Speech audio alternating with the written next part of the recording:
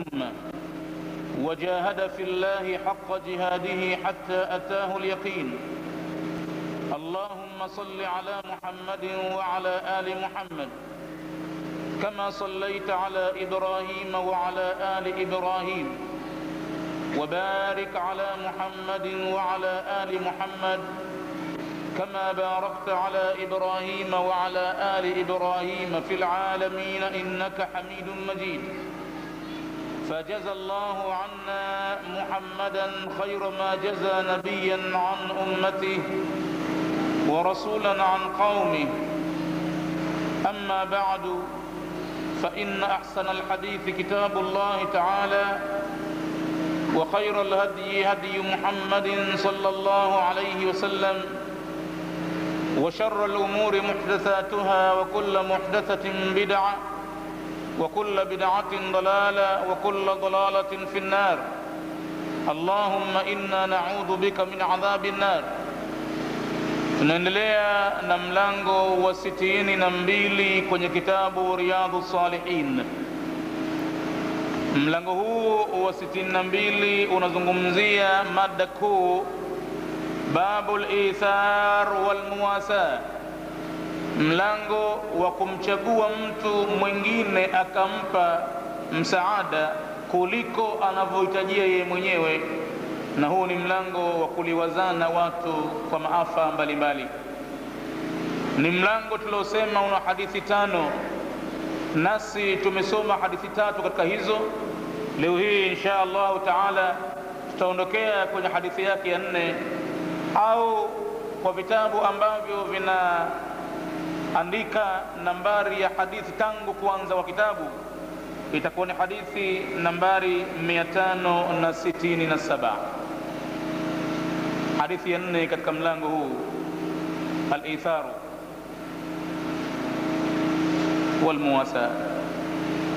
ya nne. Wa an sahli bni saadin tunapokea mafunzo ya busara kutoka kwa mjumbe wa mwenyezi mungu kutokana na sahaba wake ambaye anaitwa sahli ibn saadin radhiyallahu anhu mwenyezi mungu amwiradhi mtu huyu anasema bwana Sahli ibn saadin anna mraatan hakika mwanamke mmoja jaat ila rasulillah alikuja kwa mjumbe wa mwenyezi mungu sallallahu alayhi wasallam. Mwanamke huyu amekuja kwa mjumbe wa mwenyezi mungu biburdatin akiwa na borda. Na neno hili borda hiya ashamlatu almuqattata. Ni guo ambalo kubwa kiasi vizito na kitambaa chake kina mistari mistari kaja nalo mwanamke huyu guo hili anakuja kumletea mjumbe wa mwenyezi mungu. Kwa mahaba yake kwa mtume wa mwenyezi mungu. Ameona hili litamfaa mwenye nyumba mwenyezi mungu guo hili. Atatizama mwenyewe atalitumia namna gani. Kaja mwanamke biburdatin. Kaja na guo mansujatin lililofumwa vizuri sana. Faqalat mwanamke huyo akasema kumwambia mtume nasajtuha biyadi mimi nimelifuma kwa mkono wangu mwenyewe. Na makusudio yangu nimekusudia liaksukaha nikuvike wewe mjumba mwenyezi mungu guo hili. Nasajtuha nimelifuma biyadaya kwa mikono yangu mwenyewe na nimefanya hivyo liaksukaha ili nikuletee mjumbe wa mwenyezi mungu nikuvike kwamba guo hili liwe lako ulivae. Faakhadhaha mjumbe wa mwenyezi mungu akalipokea guo. Faakhadhaha nabiyu akalichukua mtume mwenyezi mungu sallallahu alayhi wasallam hali ya kuwa kalichukua guo hilo bwana mtume muhtajan ilaiha hali ya kuwa ni mwenye kulihitajia. Kalipenda analitaka akalipokea. Hali ya kuwa muhtajan ilaiha ni mwenye kulihitajia guo hilo. Fakharaja ilaina anasema mwenye kusimulia hadithi hii bwana Sahal ibni Saadin, siku moja bwana Mtume akatoka nalo guo hili kwetu sisi, wa innaha izaruhu, hakika guo hilo mjumbe Mwenyezi Mungu amejizongoresha kalifanya kuwa ni shuka yake. Wa innaha izaruhu, neno hili izar kwa hakika ai lafaha ala jismihi, amejizongoresha juu ya mwili wake bwana mtume, min alasfali, kuanzia chini, kuanzia chini. Lianna alizara, kwa sababu kitu kiitwacho izar, yani shuka, ma yulbasu fi asfali lbadani, ni kitu kinachovaliwa katika sehemu ya chini ya kiwiliwili. Basi bwana mtume siku moja katoka na guo hili amejizongorisha nalo, kalivaa kuanzia chini likamfatia juu. Faqala fulanun, kuna mtu mmoja akamwona mtume kalivaa guo lile, roho yake ikamruka, akalipenda na yeye. Akalitamani guo lile, asiweze kujizuia moyo wake. Faqala fulanun, akasema mtu fulani, iksuniha, na kuomba Mwenyezi Mungu nivikemie guo hili, mmelipenda mie nalitaka mie. Iksuniha, nivike guo hilo, mimi nalipenda. Ma ahsanaha, ah, uzuri ulioje guo hili, siwezi kulisamehe ya Rasulullah, iksuniha, na kuomba univike mie guo hili. Ma ahsanaha, uzuri ulioje wa guo hili. Faqala, Mtume Mwenyezi Mungu akamwambia, naam, hilo umepata, takupa, umepata hilo, subiri kidogo tu. Naam, hilo jambo kwa hakika nimekukubalia. Basi fajalasa nabiyu akakaa kitako mjumbe wa Mwenyezi Mungu sallallahu alaihi wasallam fil majlisi, kwenye kikao maalumu, anakaa na masahaba wake. Thumma rajaa, kisha akarejea nyumbani kwake. Fatawaha, akalikunja guo hili vizuri. Fatawaha, shakalikunja akalikunja guo lile. Thumma arsala biha ilaihi akalipeleka guo hili bwana mtume kumpelekea bwana huyo alolitaka kwamba linamfaa yeye, na akaomba aviko yeye. Mjumbe wa Mwenyezi Mungu alikuwa hajui kusema sina wala hapana pindipo akitakwa haja na mtu yoyote yule katika Waislamu. Hajui kitu sina wala hajui kitu hapana, atafanya juu chini ili ampatie muombaji haja yake aliyoitaka, na alikuwa yuko tayari wa Mwenyezi Mungu kitu hata kama anakitaka yeye, yuko tayari yu'thiru ala nafsihi, akachagua kumpa mtu mwingine kuliko nafsi yake, walau kana bihi khasasa, ijapokuwa kitu hicho kwake yeye kimemhusu zaidi. Kaambia basi, wapata bwana wewe. Kufika mtume nyumbani, akalikunja guo lile vizuri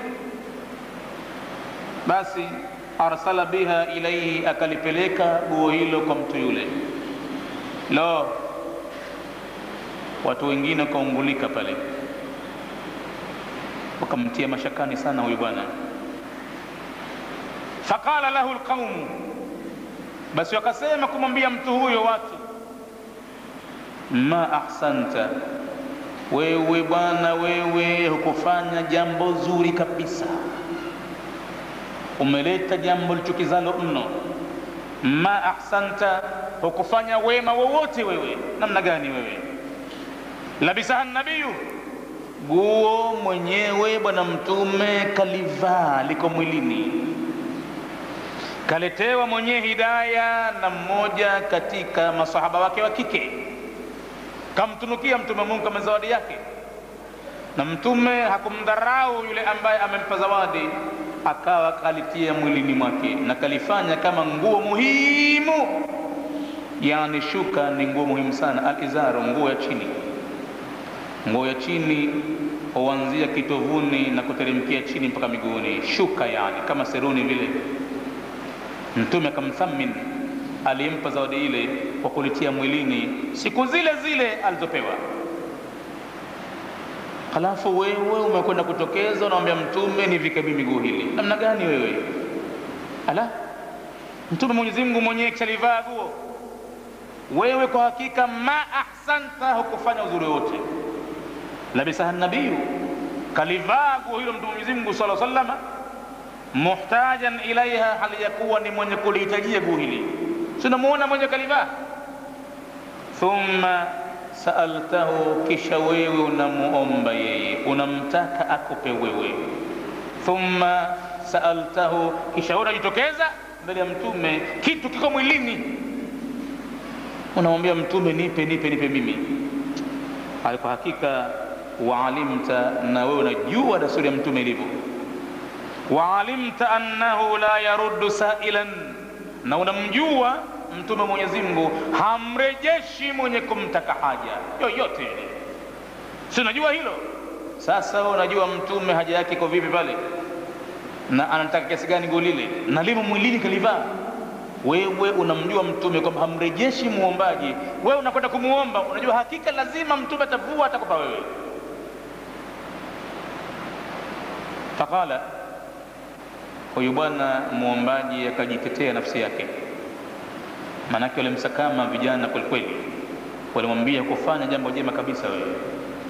Katika kujitetea kwake bwana huyu faqala akasema inni wallahi hakika mimi naapa kwa mwenyezi mungu ma saaltuhu lialbasaha sikumwomba bwana mtume ili livae miguu hili. Hamjui nyie. Mngeniuliza kwanza jama mimi niliomba kwa matlubu gani? Basi mimi mwenzenu sikumuomba mjumbe wa mwenyezi mungu nimvue nguo yeye kitu kakivaa alafu nivae mimi. Sikuomba hivyo. Innama saaltuhu hakika mimi nimemuomba mjumbe wa mwenyezi mungu litakuna kafani hili guo mimi nilimpiga akili yangu mbali bwana. Ili lijeliwe guo hili sanda yangu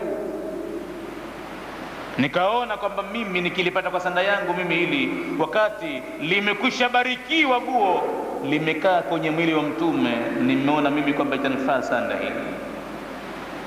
Qala sahlun mwenye kusimulia hadithi hii bwana sahlu bni saadin akasema fakanat kafanahu basi guo likawa ni sanda yake bwana huyo.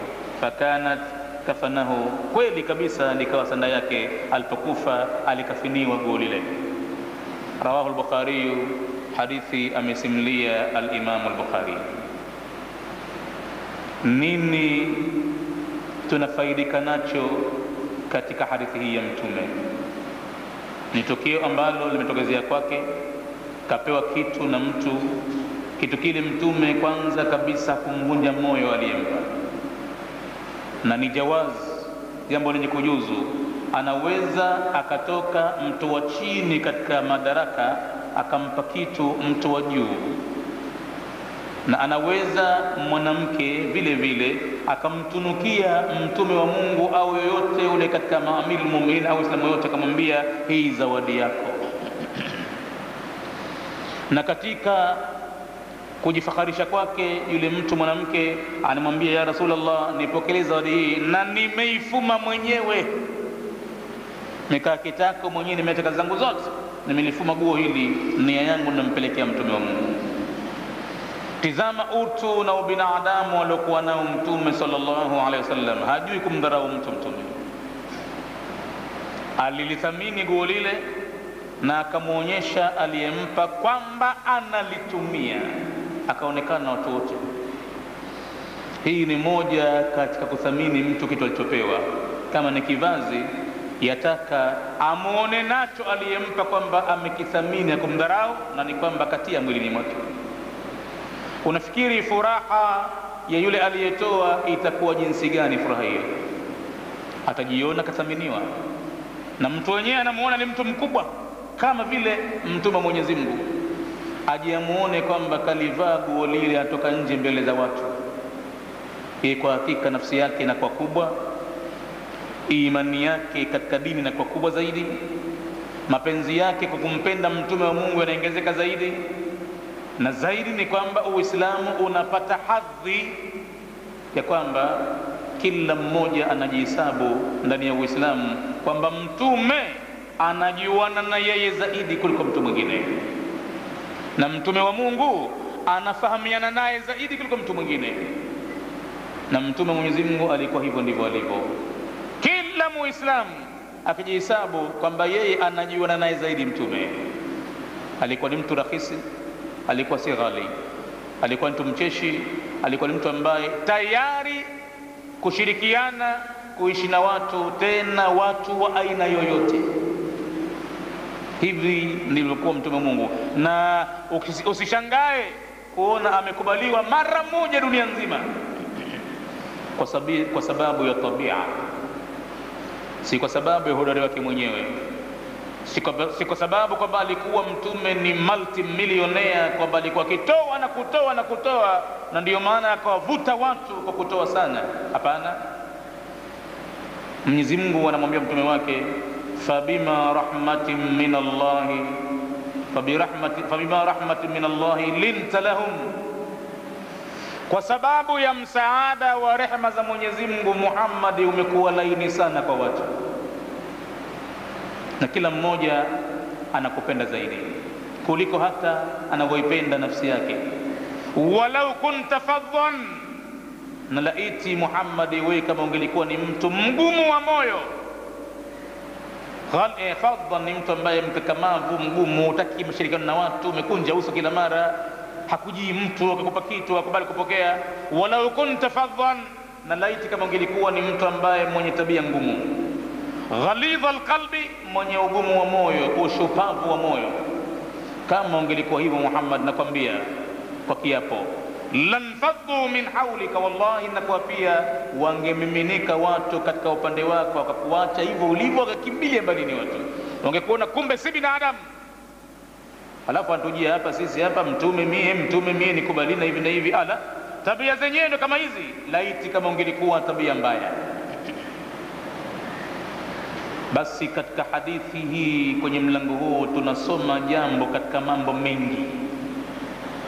Na katika hayo hususan watu wanaolingania uislamu wanaotaka watu kuwavuta katika kufahamu uislamu waache mabaya waje katika kupenda mambo mema watoke ukafirini watu waje kwenye kusilimu.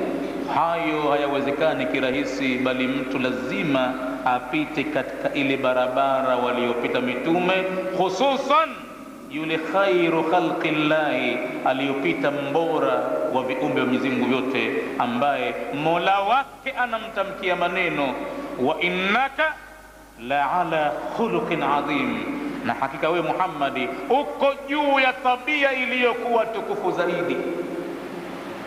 Hakuna yoyote aliyokaribia katika tabia za Muhammadi. Hakubaka kukaribia mtu. Tizama namna yake mtume. Kiongozi gani atakubali masara kama haya na kudhalilishwa kama hivi? Iwe kiongozi haizuru kapewa hicho kitu katokeza mbele ya watu halafu kaja mtu anamwambia nipe mie nipe mie ili nzuri no, nimelipenda. Nzuri mno. Suti yako kanzu yako nini chako kiatu chako mtawala gani katika dunia hii? Isipokuwa atachukulia jambo hilo kwamba ni utovu wa adabu ni fedheha na moja kwa moja kwanza atawahi. Mabodigadi wako wapi kwani watamnyaka mara moja mtu amtie mbaroni. Asionekane katika ardhi muda wa kufichwa. Yumo mfichoni. Kosa lake ni kwamba amemtaka mkubwa na muhammadi ni mkubwa katika wakubwa. Na mkubwa kuliko wakubwa kwa maana ukubwa wake yeye amekabidhiwa ujumbe rasmi na mola wake ende kwa watu akawatangazie ujumbe huo yeye ni mkubwa sana akiheshimiwa na waislamu wote heshima kubwa mno mola wake ametaka aheshimiwe ameweka mafunzo kwenye qurani lkarim namna kwa namna ya kumfanya atukuke aheshimiwe la taj'alu duaa ar-rasuli kaduai bainik ba'dikum ba'da, msijaalie wito wa mtume wa Mwenyezi Mungu kama mnavyoita na nyinyi.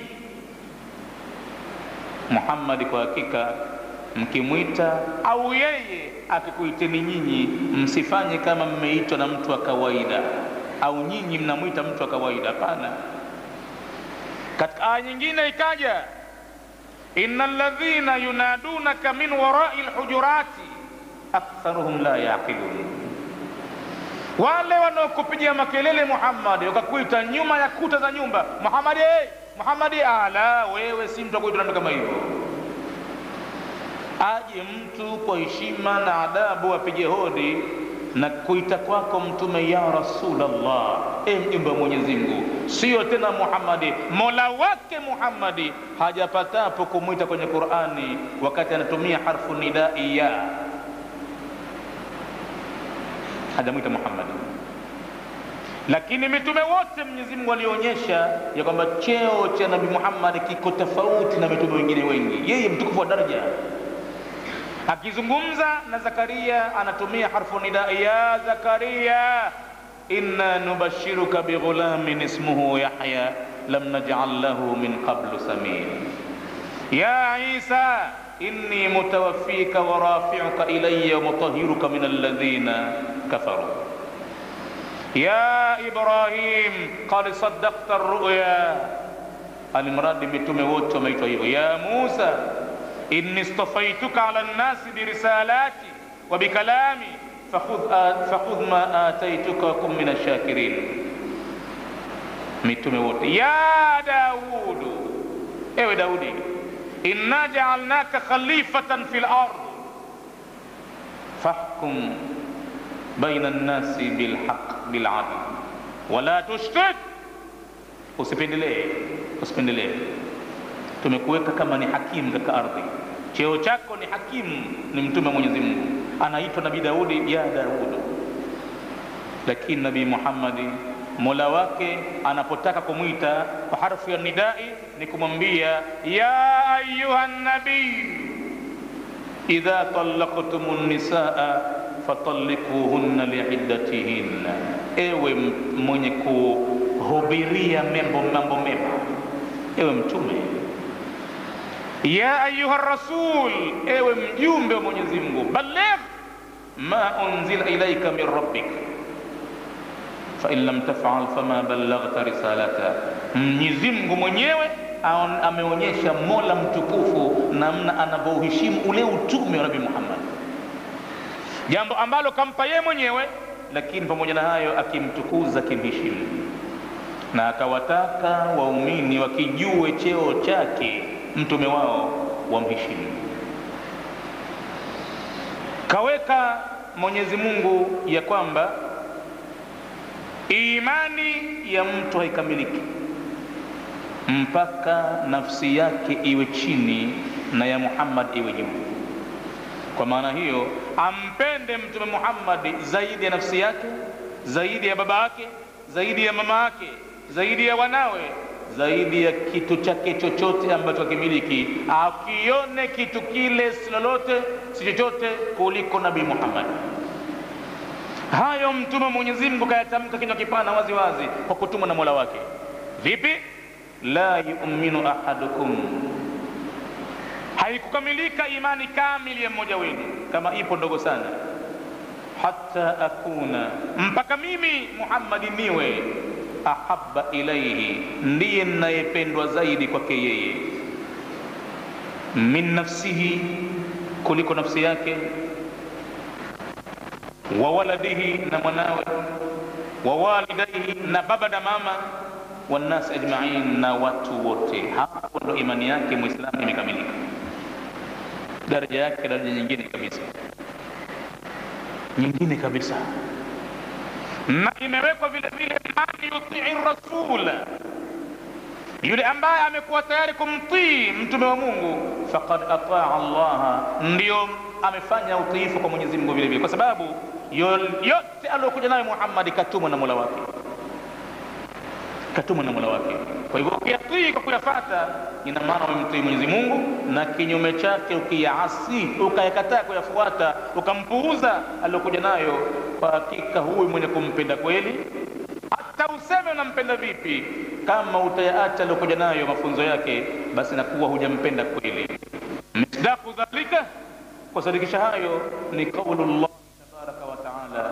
Mwenyezi mungu aliposema qul in kuntum tuhibbuna llah muhammadi waambie kama nyinyi waumini mnampenda mwenyezi mungu kwa maana hiyo mtakuwa mnampenda mtume wake vile vile. Fattabiuni. Lazima mnifuate katika nilokuja nayo. Siyo kunisifu tu. Hapana mme tayari muwe tayari kuyafuata nilokuja nayo kwamba ni bora zaidi kuliko jambo lolote jingine. Fattabiuni. Na mtakunifuata mimi yuhibbukumullahu, bila shaka mwenyezi mungu mapenzi yake yote yako katika nyinyi kunifuata mimi katika nilokuja naye. hapo ndo mwenyezi mungu atakupendeni nyinyi wayaghfir lakum dhunubakum.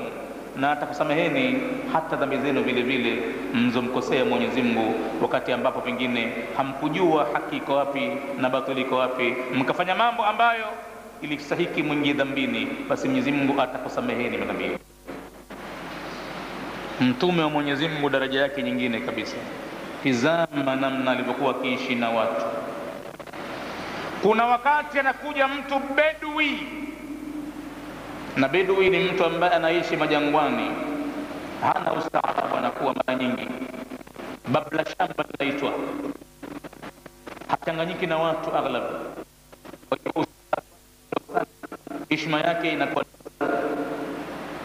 Ule utu kama binadamu kwa hakika unatofautiana baina yake yeye na wakazi wa mjini ambao wanachanganyika watu kuishi na watu wenzi wao. Yule babu la shamba au bedui kwa hakika na wakati katokeza bedui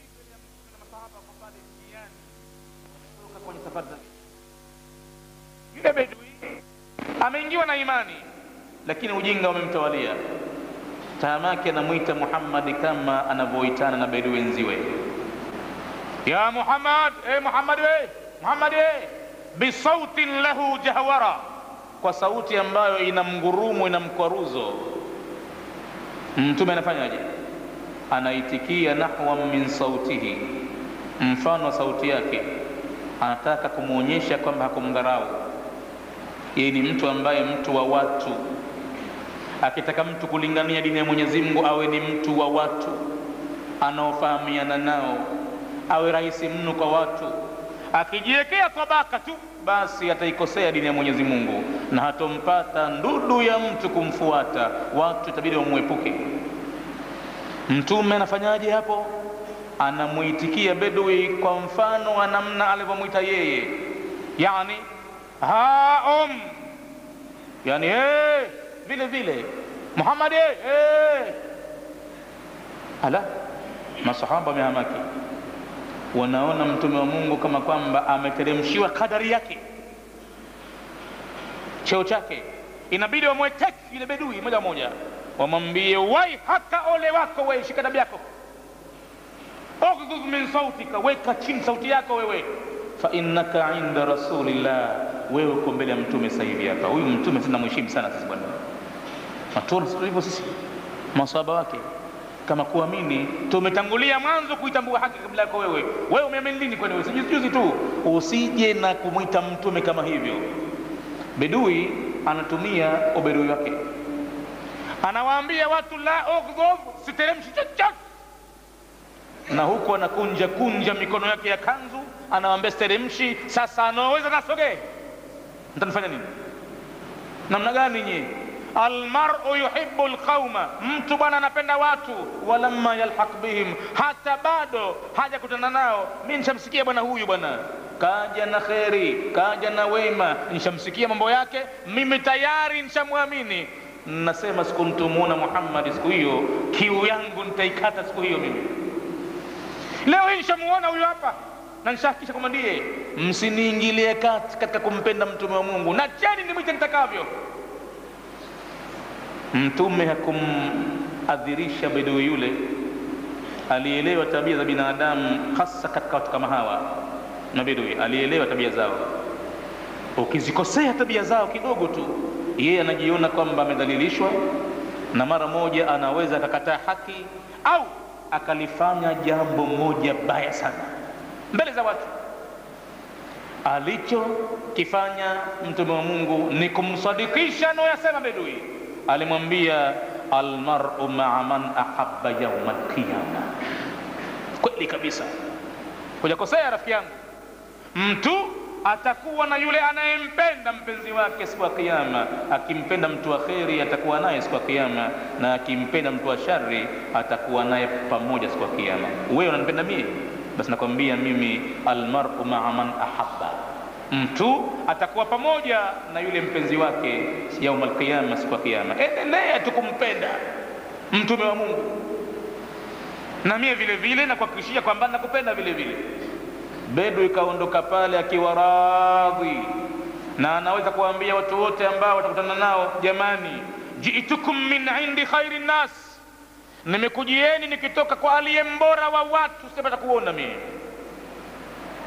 wakati huo pengine shaanza kuona ubinadamu shaanza kujua uislamu anaanza kuona hii siku ile mimi imemwita mtume kwa utovu wa adabu mkubwa. Doh, hawa watu namna anavyomuheshimu huyu mtu mimi nimejitokeza pale nikampigia kelele mtume nikamwita ndivyo sivyo na tizama mtume wa mungu asinikasirikie bali akakubali kwamba mimi nimefanya ndivyo.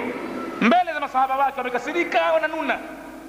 Lakini yeye akanitukuza sana mimi siku hii alipopewa nguo vile vile ilionekana kwamba mbele ya watu wengine kwamba kafanya makosa makubwa sana yule mtu. Kumwambia mtume nipemie nguo hiyo. Uzuri ulioje wa nguo hii? Nipe mie ya Rasulullah, mvishe mimi nguo hii. Hii ni kawaida mtume ameifanya si mara moja si mara mbili. Anaonyesha waislamu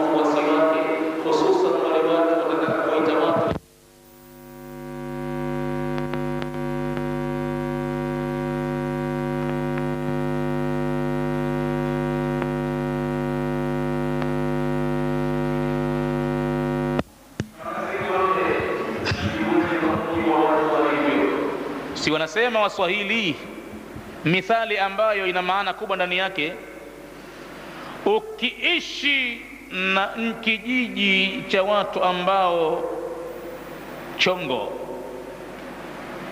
wana athari ya macho watu wote. Na wewe vile vile likunje lako nipende kuonekana chongo usikuonekana kwamba una nata nata una macho mawili unang'ara sawa sawa na wewe vile vile nenda kwa mujibu wanavyokwenda wao.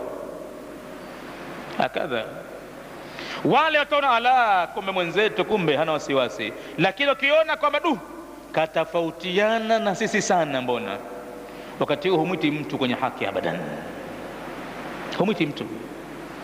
Kwa. unafikiri sasa hivi duniani kinachowafanya wale wa marekani weusi kutoka wakaacha dini zao na mila zao kuja kwa wingi kwenye uislamu katika jambo ambalo limekuwa ni tishio kubwa duniani. Kitu gani nafikiri ni ule uislamu na mambo, mambo mafunzo mazuri mno aliokuja nayo nabii muhammadi waliona kwamba wale jamaa zao weupe weupe wanaonata wameweka kalaba wametofautisha kabisa baina ya binadamu mweupe na binadamu mweusi. Tofauti iliyokuwa kubwa mno wametofautiana sana watu. Basi upesi upesi uislamu huonekana kwamba ni ukombozi wa wanyonge na siku zote haki inaaminiwa na kufuatwa na wakomnani wanyonge wanyonge. Hata nabii musa hawakumwamini ila wale ambao vijana dhuria. Wanyonge dhaifu ukiwaona hivi. Walihisi tu kwamba kaja na ukombozi bwana huyu. Hii kwa hakika dini yetu binadamu wote. Na hili ndo jambo wanaliogopa watu kuja kujulikana uislamu duniani. Kuna mafunzo gani ndani yake? Wanaogopa sana watu jambo hilo iko siku watu watafahamu dunia nzima mfumo upi wa kwenda nao. Kweli ni ipi na uongo ni upi? Laogopesha sana jambo hilo. Ndio maana ukaona uislamu siku zote unatupiwa takataka machafu na waislamu vile vile wamekuwa ni magaidi wamekuwa ni watu ambao fundamentalisti watu matata matata. Watu wahuni wahuni wababe wababe. Wanatupiwa sifa mbaya kwa sababu wanatamaa watu tukitupa manyangarika haya watu watawaelewa waislamu na ubaya wao ule. Kwa hivyo kuna baadhi ya mambo wanayafanya watu wenyewe kwa kuwasingizia waislamu wamevunja pahala wameua wametupa bomu. Ili pate kuonekana dini hii ni hatari sana hii.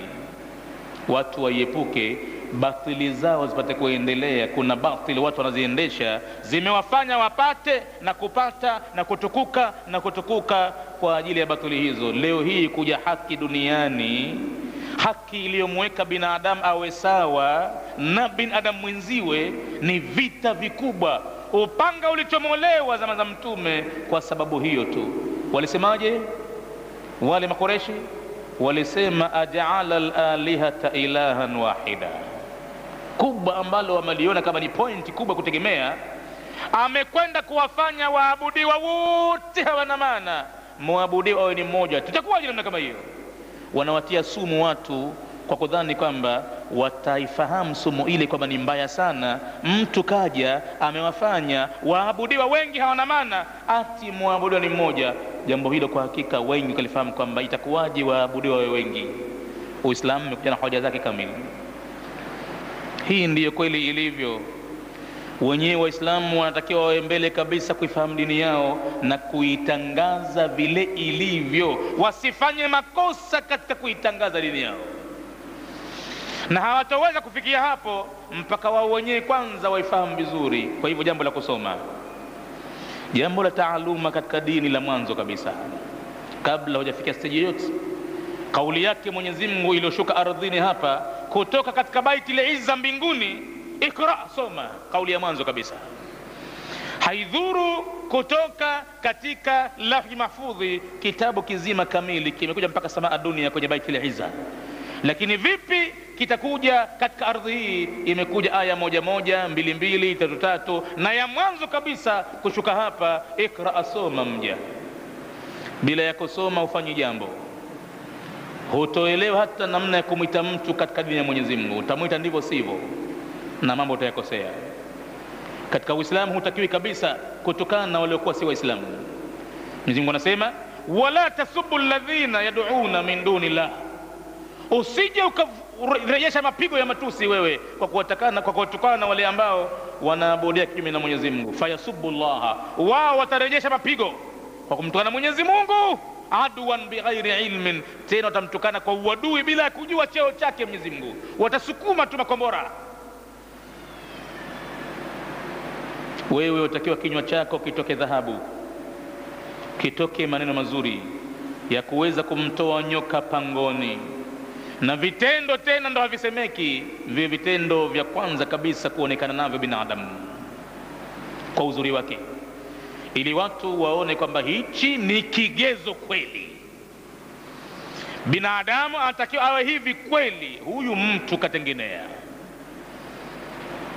Mafunzo tunayoyapata kwenye maneno kama hayo jawamia ilkalim, mkusanyiko wa maneno machache lakini jengo lake lidogo lakini maana yake ni kubwa sana maneno hayo. Uislamu ndo huo kwa hakika. Mafanikio yako hapo kwa hakika mtume wa mungu namna alivyokuwa akiishi na watu. Tizame mtu kaja nani atakubali kufanyiwa mambo kama yale? Si atahisi kama kadharauliwa? Mtume hahisi hivyo. Fanya unayofanya mtume atashirikiana na wewe. Anakufuata kwa mujibu wa akili yako na fahamu yako na ustaarabu wako na ilmu yako ulionayo na ujinga wako ulionao. Atakuchukulia vile vile tizama siku moja kaja mtu mbele ya mjumbe wa mwenyezi mungu sallallahu alayhi wasallam anamwambia ya nabii allah ya rasul allah ijalni imama qaumi mimi nakuomba ya, ya rasulullahi nifanye niwe imamu niruhusu niwe imamu watu wangu huko. Naomba nisalishe mimi. Watu wangu kule hawana imamu. Mtume alimkubalia kwa sababu alimjua uwezo wa qurani anao lakini alimpa sharti. Alimwambia nimekupa anta imamuhum lakini waktadi biadhafihim. Wafuatie watu kwa mujibu wa udhaifu wao wa akili na ilmu na kila kitu. Nenda nao watu kwa namna hiyo. Usitake imani za watu wale ziwe kama ulivyo wewe na kutambua dini unavyotambua wewe na wao kwa siku moja wawe hivyo hivyo ulivyo wewe. Utaharibu kuharibu kubwa utabomoa dini itakuwa dini umeikamatia mtaimba unaivunja wewe. Kuwa na hadhari kubwa. Iktadi biadhafihim fata watu kwa udhaifu wao. Usijokenda katika kusalisha kwao watu imani zao changa kabisa ukaanza kuwasomea sala ya isha sura albaqara yote nzima ina aya mia mbili na themanini na sita. We taharibu hawaelewi wao watu ngoja wasomeshe kwanza siku wataoelewa watakuhimiza wao. Pole pole kabisa. Wafuatie watu na udhaifu wao walionao. Mtizame yule mwenye akili yake na ilmu yake aliyonayo katika afatul ilmi maafa ya ilmu maovu ya ilmu ni kwamba unaifikisha kwa watu ambao si watu wake. Mtizame yule unaozungumza naye. Anapokea kitu hichi lakini mtoto mdogo yuko nasari. Wewe unakwenda kumpa mafalsafa makubwa makubwa umekaa kitako unamchambulia qurani anajuaje qurani mtoto mdogo? Na uchambuzi wake. Mpe neno kwa neno. Qul ya ayuha lkafiruna mwambie sema enyi mliokufuru usende tena hapo ikatokea nini ikatokea nini hachukui mtoto. Unaitupa ilmu sasa. Ngoja atapokuwa anaweza kupokea utampa falsafa kwa mujibu wa akili yake ilivyo. Mtume ndivyo alivyokuwa hivyo. Nenda wa, na watu kwa mujibu wa tabia zao zilivyo. Haikusudiwi kwamba watu wakuburure wakupeleke kwenye batil la ni kuwaonea huruma kutokana na ile fahamu yao walionayo. Itabidi uende kwa kiasi mpaka akili zao na fahamu zao na ilmu zao zitakapokuwa kubwa